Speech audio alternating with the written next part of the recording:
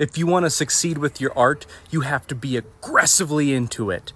You have to shove it in people's faces. Look at it. Look at what I drew.